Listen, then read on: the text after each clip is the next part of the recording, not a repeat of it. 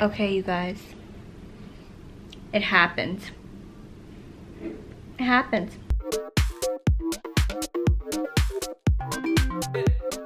Alright, so I really wanted to vlog the entire experience, but you know, when it actually happens, it's very chaotic, you go crazy. I'm very swollen right now, so pardon. But, alright, so yesterday, May 29th, I was recording my podcast, It's Happening with Snooki and Joey, and I'm laying on the couch, you know, just relaxing because I can't move. This baby is like huge and I'm dying. And all of a sudden, I'm peeing myself. I had two kids before. My water breaking, the first time it like trickled out and then they had to break my water. The second time it was like a little pee here, a little pee there. This time it was insane. It was like Niagara Falls out of my crotch. Um, it went, it soaked my entire pajama pants. It soaked my entire couch. I had to scrub it. I ran upstairs. Um, I went to the shower. It was coming out in the shower. Um, and then I was getting dressed. I got into the car. Jionni brought me to the hospital. Soaked through my my maternity pants. Soaked all over the, the car seat, or my car, my seat, my seat in the front. Soaked all over that. And then I got up. I was walking into the hospital. It was dripping down my leg. So then Jionni got me a wheelchair. And I was sitting in that, and it dripped all over the wheelchair. And then I got, finally got into the room where they were, you know, putting IVs in me and it got all over the bed. So I had to be like three gallons of milk of water coming out of me, gushing out of me, disgusting. So I didn't expect that part. So that was something new that I experienced.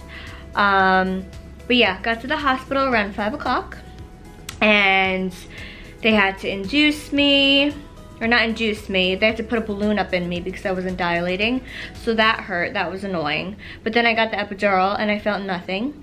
And I was in labor for six hours. Now that was annoying because my third child, Do you think he would just walk right out of there. He didn't. So it took six hours for that. And at 2.30 in the morning on May 30th, my little nugget Angelo popped out. He's sleeping right now, he's so cute. He popped out at 2.30, May 30th.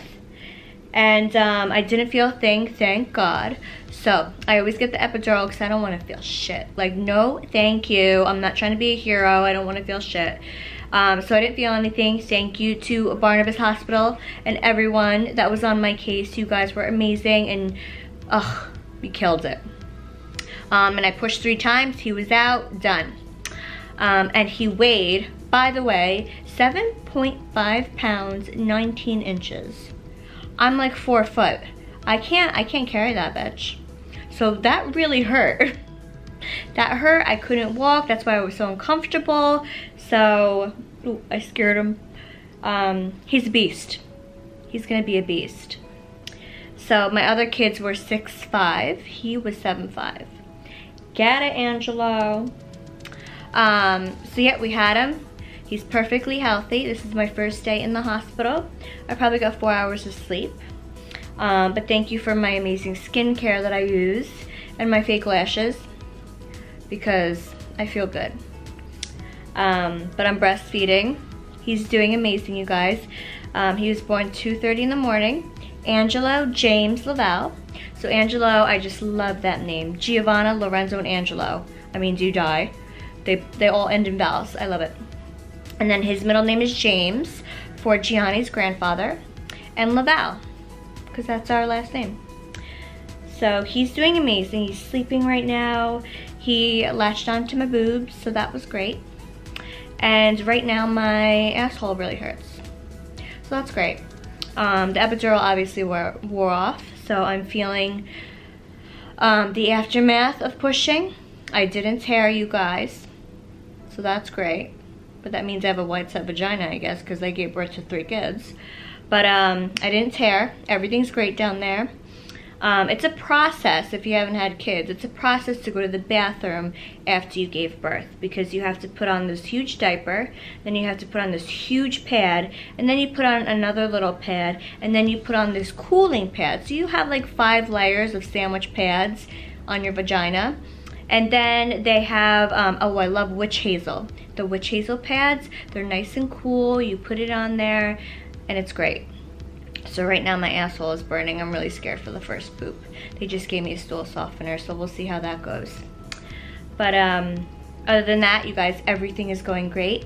I'm actually gonna vlog. I'm really sorry I didn't vlog me getting here and the whole process. But then again, like we wanted it to be kind of private because when I had Lorenzo, I had Lorenzo on Snooki and JWoww. And then Giovanna I had on Snooki and JWoww. So we never really had um, a delivery where it was just us. Yes? Could I come in? Could I come in? Could I come in? Oh, my mommy's here. My daddy. I'm doing a vlog. Say hi to my fans. Hi. Hi, fans. Hi, fan. They can't see you. Get in It's the okay. frame. They can hear me. Okay. Got matching outfits. Alright guys, so we'll be back. Once the kids get here, I'm going to show you guys um, the kids' reaction to the baby because they haven't met the baby yet. So wish us luck. Here's Angelo. He's sleeping.